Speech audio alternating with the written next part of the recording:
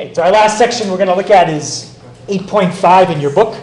Um, if you're looking in the packet, it's 5.6. Okay, and the only thing we're really going to look at um, today is basically taking what we did in 2D, uh, cross pro, uh, dot product, um, length of a vector, scaling a vector, everything we did in 2D, and do it in 3D. Okay, If you can do it in three, um, 2D, 3D is not really any harder. And this is basically what a, a 3D coordinate system looks like. Uh, it's a little hard to sketch things, so we're going to stay away from sketching in 3D. Yeah, We did a lot of sketching in 2D, uh, not in 3D. And the way you can figure out the direction of the axes, um, this is called a right-handed coordinate system. And what that means is if you take, and your index finger points in the direction of the x-axis, uh, your middle finger points in the direction of the positive y-axis, your thumb will point in the direction of the z-axis, right? So if x is going kind of towards the floor and y is towards the door, then z would be going up, just like in that picture. Versus if you did that with your left hand, okay, if you line up your, your middle finger, your index finger, notice your thumb points in the opposite direction if you use your left hand, okay? So that's, that's how we can tell the difference. The only difference is z. So keep in mind it's a right-handed coordinate system. All right, so first thing we'll look at is um, how to find distance in 3D. Okay, this is the formula from 2D. It's basically the Pythagorean theorem. You guys have probably done that before from like algebra, maybe geometry or algebra 1. But the distance formula? Not the Pythagorean thing. It's a Pythagorean theorem, yeah. So now in, in 3D, the difference is we don't have ordered pairs anymore. Okay, a pair is when you have an x and a y. Does anybody know what we call these? Pairs would be if we had two. Now we have three. Yeah, or triples. Yep. You could still call it a coordinate or an ordered triple. Okay, and anybody have a guess what I'm going to add onto the end of the formula to make it 3D? C. At Z, uh, like at two at one at three. All right, so um, can you say that again, Upi? Like you just wanna add uh, Z in the end. Yep, I'm going to add some z's on the end, but can you tell me exactly what I'm going to add? Z one and Z2. Okay, and what are you going to do with z2 and z1? Yep. And then square. It, exactly. This is basically how every formula is going to work today. Okay, we're going to look at it in 2D, and then there's just a small thing we add on to the end to make it 3D.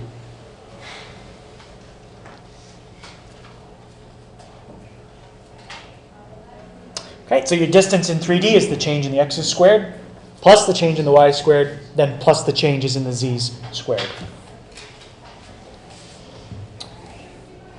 Right, so take a second and see if you can find the distance between um, P1 and P2.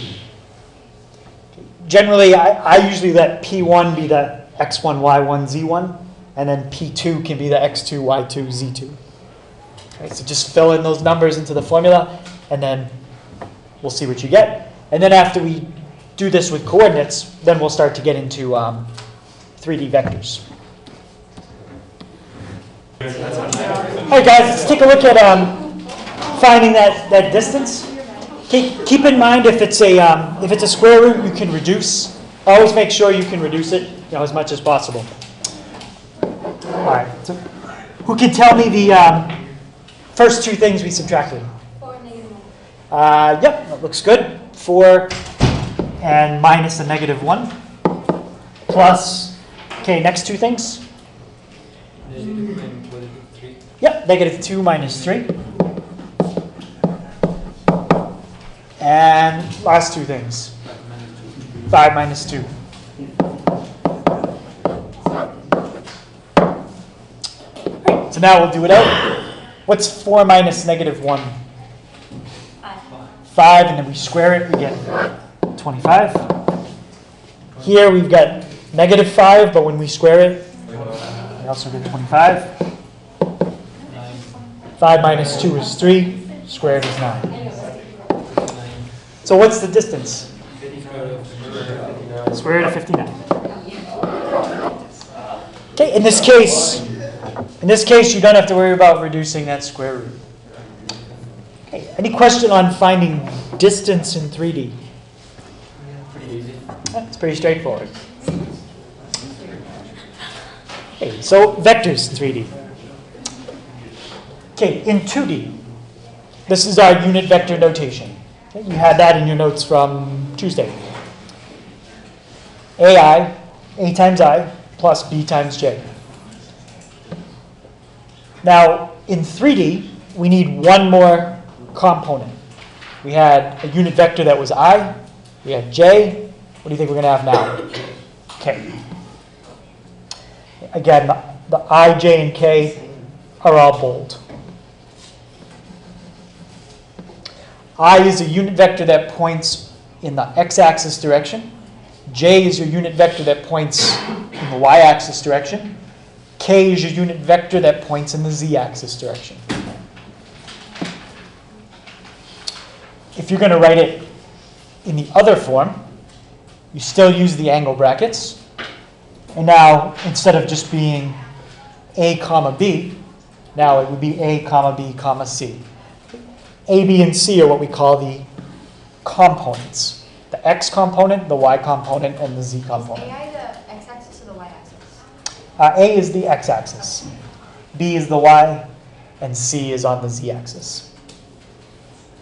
Do we have to label it I, J, K, or can we do X, Y, Z? Wouldn't that make more sense? For the unit vectors, Yeah.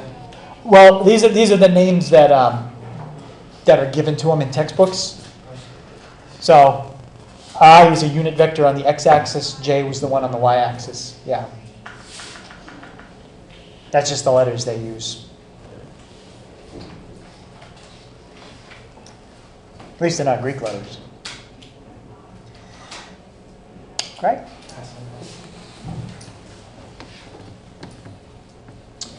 Okay. This statement you already have in your notes from Tuesday. Bless you. Just reminding you it still works in 3D. If you have a vector that starts at the origin, it's called a position vector. Okay, Anytime the initial point is at the origin, that's a position vector.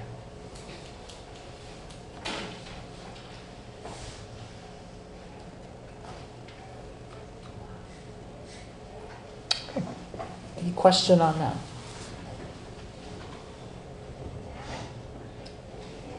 All right. So in 2D, that's how you found a position vector. Okay. x2 minus x1, comma, y2 minus y1, where the coordinates of the initial point are x1, y1, terminal point x2, y2. Okay, now we'll extend it to 3D.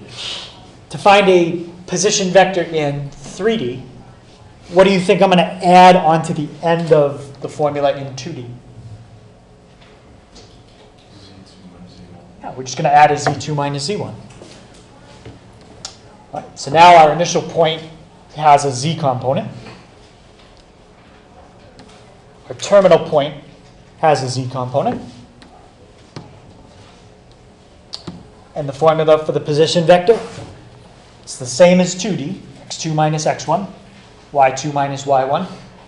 But now we have z2 minus z1. Okay, so the nice thing about the formulas in 3D, if you just block the part with the z's, then you can use it in 2D.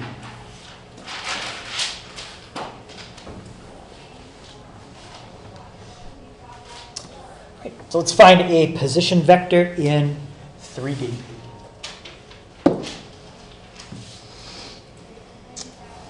Right, So my initial point, even though it doesn't say initial, always assume P1 is initial, P2 is terminal.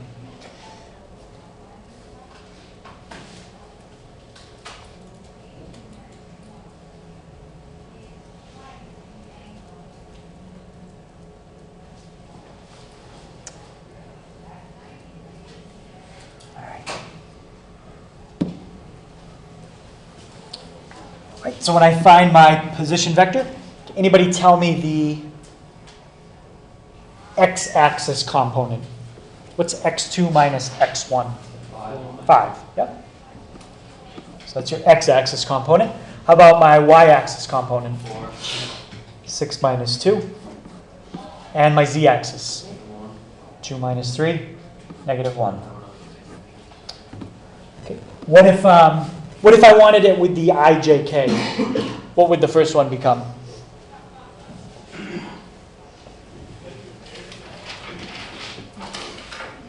If we wrote that with ijk notation. Pat?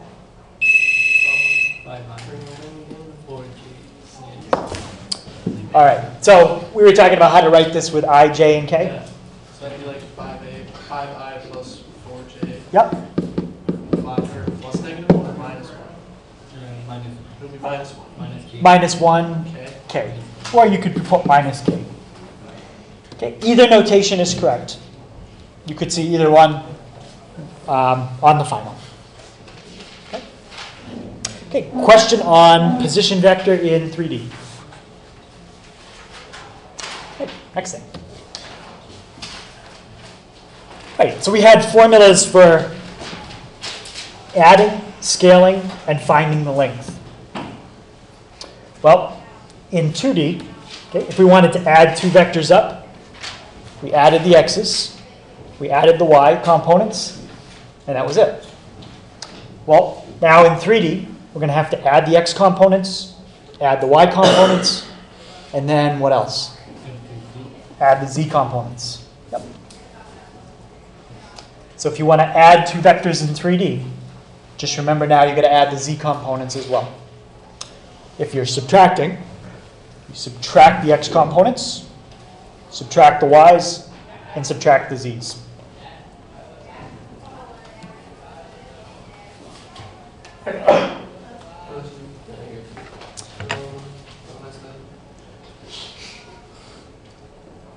Okay, how about um, scaling? Does anybody remember what property it was kind of similar to?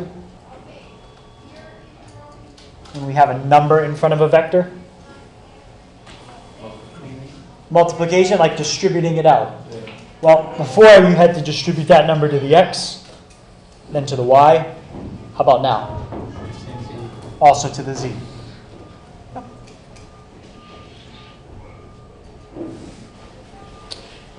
Okay, and to find the length of a vector, or its magnitude, that was the formula in 2D. The square root of x1 squared plus y1 squared. And what do you think we're going to put on the end of that? Plus Z what? z1 squared. Yeah. Okay, so the first part of that formula, it's really your Pythagorean theorem. That's the Pythagorean theorem in 3D.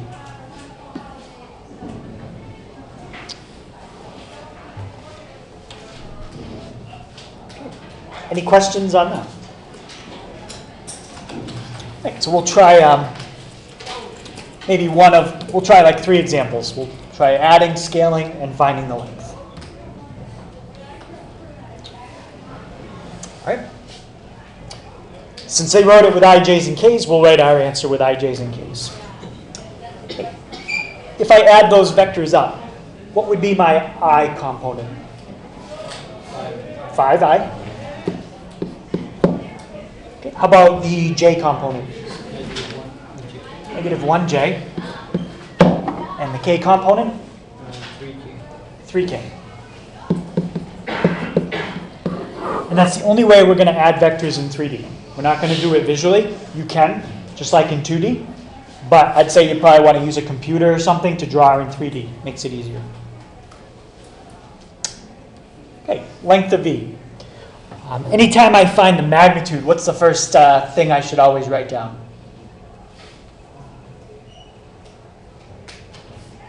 What's, what's in the formula when you find the magnitude? Square root. Start with that. Okay, what's the first number that I'm going to square? X one, Which is two, uh, 2. The second number I'm going to square? three, Yep, just the 3. And the last number? Negative, Negative 2. So what is the length of V. Square root of 17. Yep. And last thing we'll do is scale vector W. I want to find 3W. Okay, so if I scale W, uh, Paige, what would my I component be if I triple it?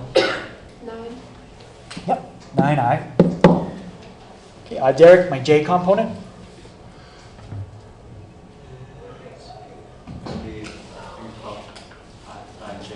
What is it? Negative 12j. And my K component? How about Upi? Uh, fifteen K. 15k.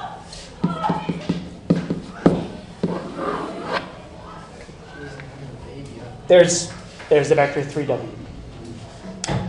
Okay. Questions on scaling a vector in 3D? Okay, next thing. Dot product. Well, if you can do dot product in 2D, doing dot product in 3D is exactly what you would expect it to be. Yes?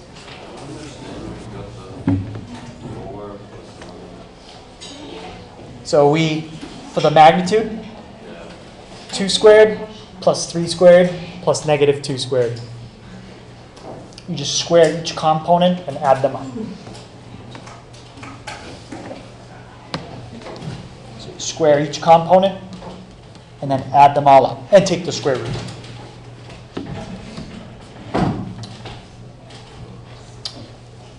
Okay, so in 2D, okay, if these were 2D vectors, that would be our dot product.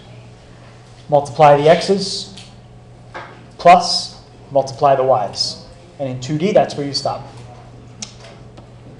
But now I'm going to add one more thing onto the end. z1 times z2. So you multiply your x's plus multiply your y's plus multiply your z's.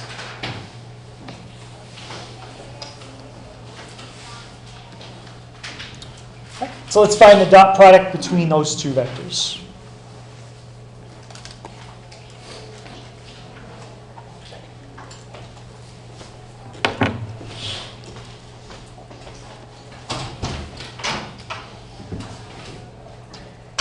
Okay, Tyler, um, what's um, first two things I would multiply together to find my dot product? Uh, two I and five I? With the i? Or just two and five? Yeah, just the, just the two and the five. Good. Okay, because dot product, it's just, uh, just a number. Um, Brian, how about my next two? Negative three and three. Good, negative three and three. If this was 2D, we'd be done right there. Okay, Now, 3D, we got one more step. Um, Will, what about my last two? Wasn't in the front sheet.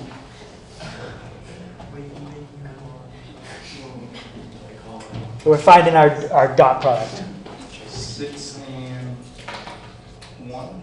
Six, uh, careful, because it's a Negative one. negative one. Okay? Right, Just add that up, and that's your dot product. 10 minus 9 minus 6. 10 minus 9 is going to give me One. 1 Negative five. minus 6, negative 5.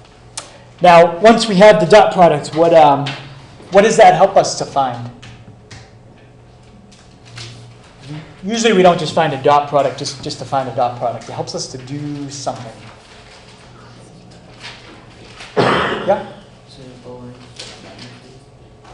Not, it, the dot product doesn't help you to find the magnitude, but we are going to find the magnitude as part of what I'm thinking of gonna, we're going to do next. Uh, no, not velocity. Yep. Angle. Yep. And the formula to find the angle between two vectors in 3D, it's exactly the same as what you would do in 2D. It's actually no difference. So cosine of your angle equals the dot product over the product of the magnitudes. The only difference is the dot product is a 3D dot product. Okay, you guys just did one. And the lengths are 3D lengths. Okay, you- we just did one. Okay, so we'll try one um, finding the angle. Okay, and I'm going to use the same two vectors we had up above. All right, so to find, um, okay, to find the angle between these two vectors, I'm going to use same two vectors we had up above.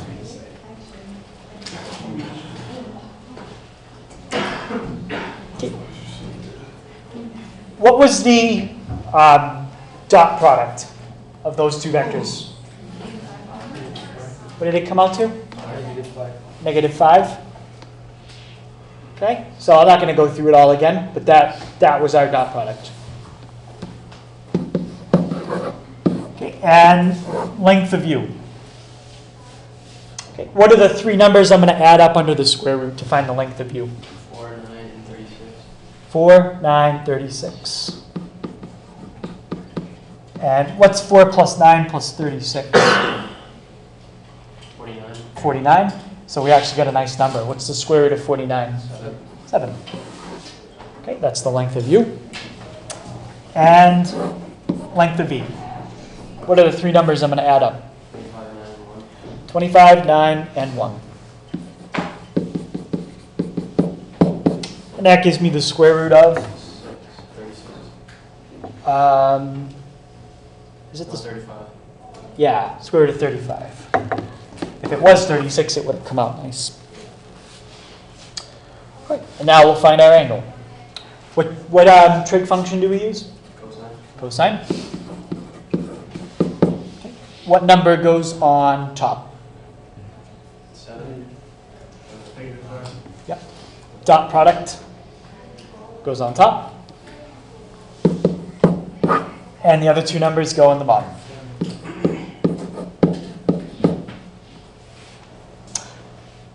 And what are we going to have to do to get theta by itself? Inverse cosine.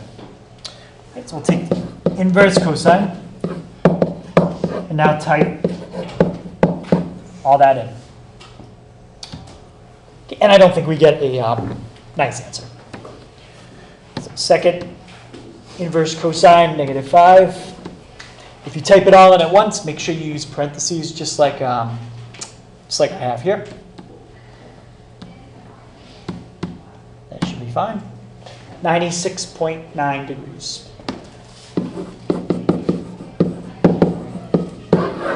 Are they parallel? No. They perpendicular?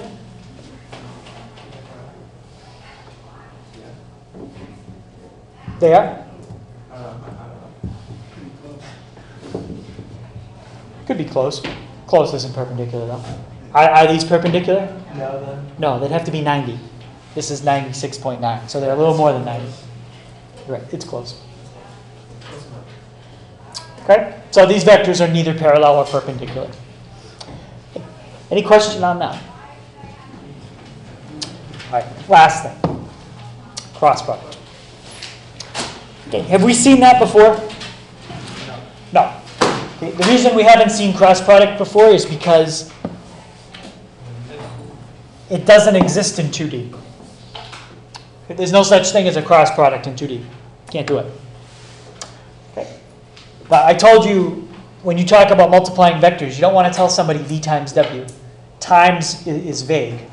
You can say v dot w, or you can say v cross w.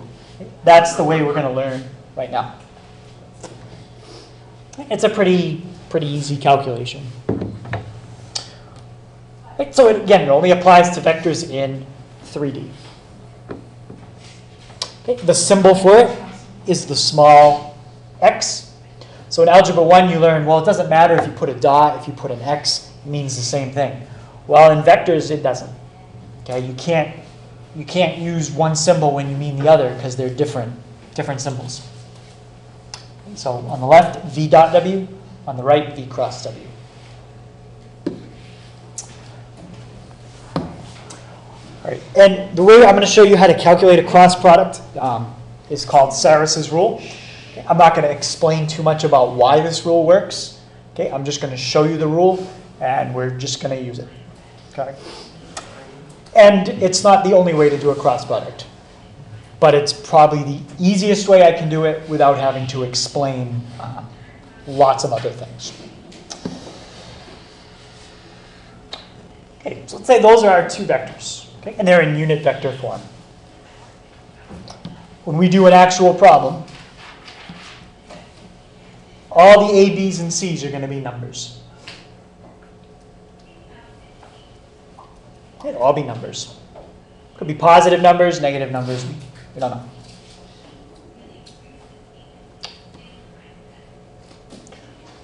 Okay, what we're going to do is we're just going to arrange everything we have there in what's called a matrix. Has anybody ever worked with a matrix before? Yeah. Just this way you arrange stuff. It's like a square, and you put numbers in, in each spot. Bless you. Right. And our matrix is going to have three by three. That means it's going to have three rows and three columns. Okay, In the first row, I want you to just put an I, a J, and a K. In the second row, I want you to put down the three numbers that are in vector V. A1, B1, C1. And then in the third row, put down the coefficients of the last vector. A2, B2, C2. Okay, Any questions on that step? Okay, Last thing we need to do to get it set up so we can visually um, see what's about to happen is I want you to copy over the first two columns you just made, again, right on the right. So take column one, make a copy of it to the right of column K. Then I want you to take column two and put that on the right as well. So now ignore what's circled in red and blue. So now your first row is going to become I, J, K, and then put a copy of the first two things, I and J. Okay, The next row is A1, B1, C1, and then you're going to copy the first two things to the end, A1 and B1 again. And then what do you think your last row is going to be?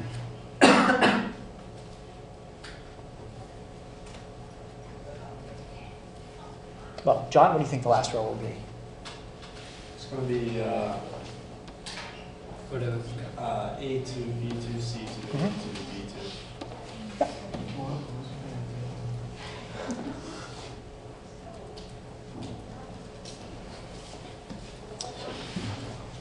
Right, and as far as the, the setup for the cross product, that's it. So this is the thing we're going to look at to find the cross product. Okay, now all we have to do from here is multiply some things together. Why We're gonna- A one and B one happening? Hmm? Like out all that stuff, why is A one and B one not? Like, So I'm going to explain why these are circled in red and blue now. Oh, okay, go ahead. All right, so now, last step is you have to multiply six things. Okay, and I've circled for you the six things you need to multiply. You're going to multiply, we'll call this red diagonal number one. You're going to multiply red one. You're going to multiply together everything in red two, and then everything in red three. Now remember, these bottom two rows are all going to be numbers. So you're going to have numbers to work with. So multiply what's in red 1, red 2, and red 3, and add those up. Right, Multiply red 1 plus everything in red 2 plus the product of red 3. And now the blue diagonals, those are going the other way. You're going to multiply everything in blue 1 together, multiply everything in blue 2 together, multiply everything in blue 3 together. And you're going to subtract each one of those. And when you see it with numbers, it's a lot. It's a lot easier. Okay, So multiply the three things circled in red, and we're going to add them all up. We're going to multiply the three things circled in blue, and we're going to subtract them all. So that is your formula for finding a cross product.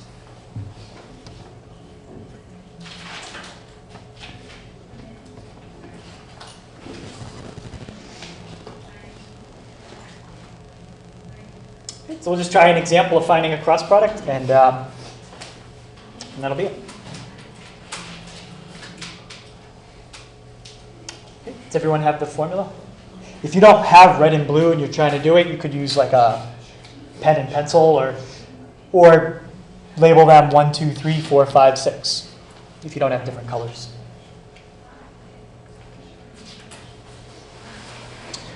All right, so I'll, I'm going to leave that up while we do our um, example.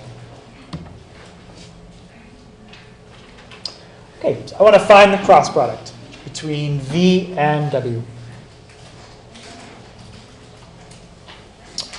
Right, so I'm going to create a matrix. Um, what's going to go in the very top row of my matrix? What three letters?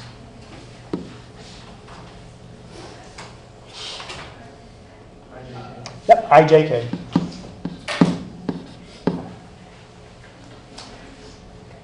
And for now, what are the three numbers that are going to be in that second row? Two, three, five. Two, three, five. And the three numbers in the last row? One, two, three. One, two, three. Okay. Now copy over columns one and two to the right of that. So we're going to put I2, 1.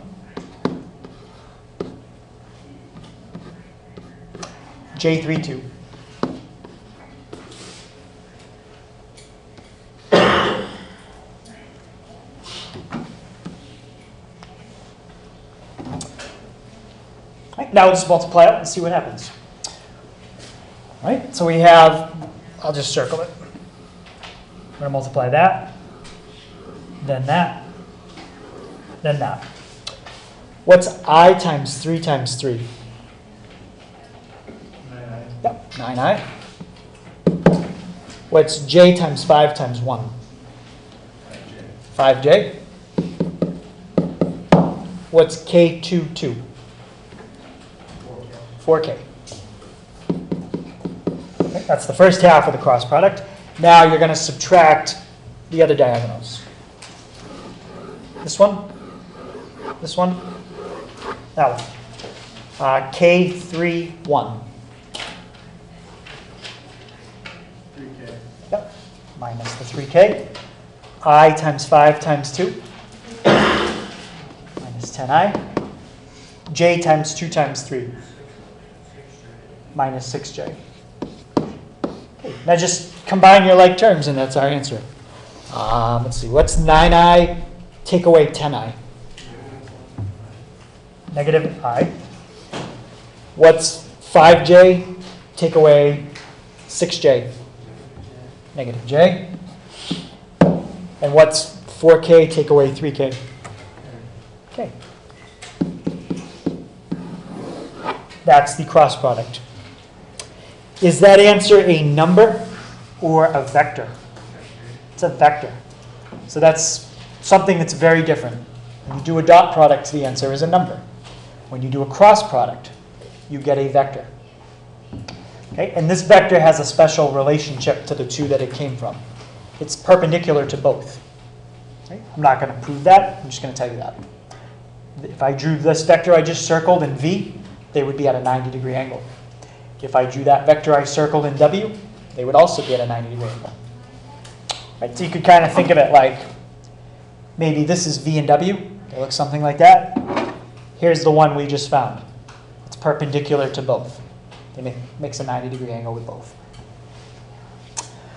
Right, and let's, uh, let's finish up by finding W cross V. Okay, let's try it the other way. What am I checking to see here? Anytime I switch the order when you multiply, what's that called? It begins with a C. Commutative, very good. I'm checking to see, do I get the same answer when I switch the order? Okay, let's see what happens. All right, I can basically use the same matrix I had, just how do I change it to do W cross V instead of V cross W? Just swap the second and third row. That's all, and then do it again. So I, J, K, I, J. Let's make this a little bigger. Uh, Now put one, two, three, one, two.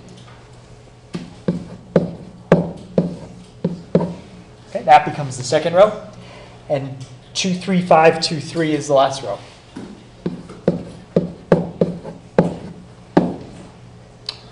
All right, s- see what we got. Okay, what's um, i times 2 times 5? Can I? 10i. What's j times 3 times 2? J. k times 1 times 3? 3k.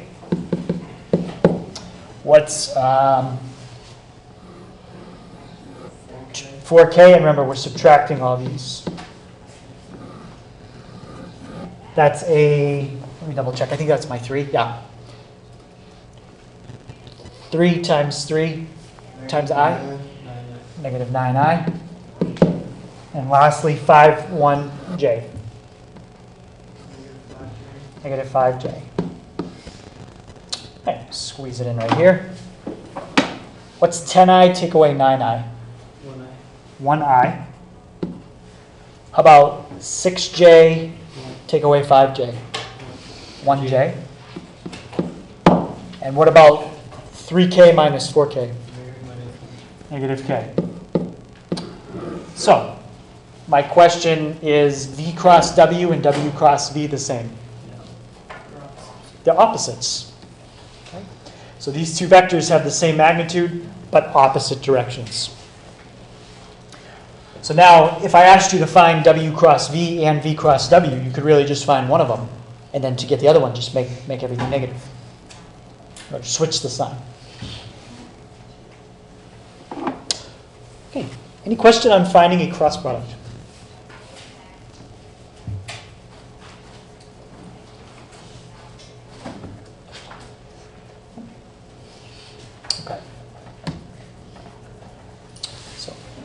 Again, I'm not going to go through the reason why here, but if you did, you would see that when you find the cross product between two vectors, it's perpendicular to both the original vectors. That's, that's what a cross product does, gives you a perpendicular vector.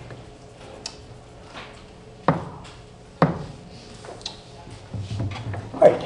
Um, so homework is in your packet. On 363. Um, I think what I'm going to do is I'm going to leave off the um, cross product problem. Okay, you don't have one in your packet. I was going to make one up, but uh, we'll we'll skip that. Okay, so there's not that many to really do. 15, 17, 29 to 35 odd. So 29, 31, 33, 35, and 41, 43, and 51. Okay, so you got um, just under 20 minutes. If you want to try to get it done and not have any homework, you can. And if you get it done, just show me, and there's no homework over the um, shop.